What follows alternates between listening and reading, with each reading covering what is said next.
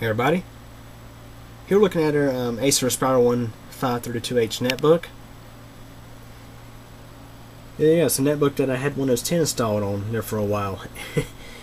I want to show you guys what the um, the um, stupid KB3035583 update can do to your Windows Update on your computer.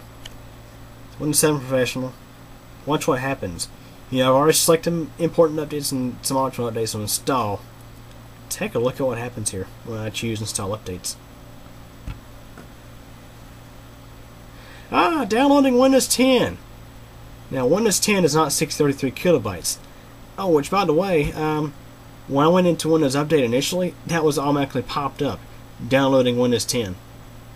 And let's take a look here. What we have in this folder on our C drive. Okay, you have to enable hidden uh, files and folders to see it.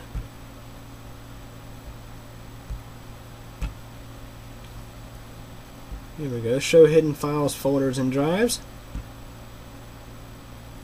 Ah, look here. It's our Windows 10 files. Taking up 5 gigs of space on our hard drive. Maybe the 32-bit is a different size. Let's see.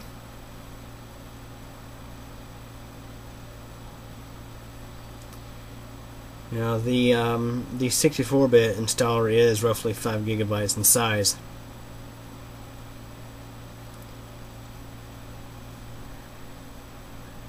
Right now we're at 3.18 gigabytes. We're still finding files.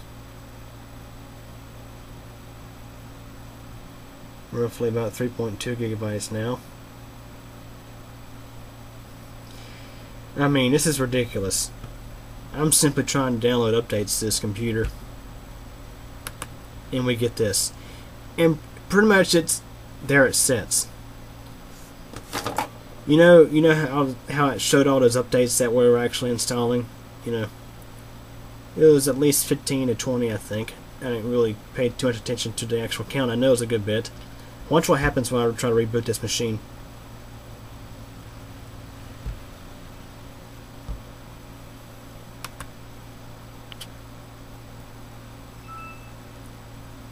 Okay, 15 updates. Okay, it's actually shutting down this time. There was one time before when it just kept saying installing update 1 of 1.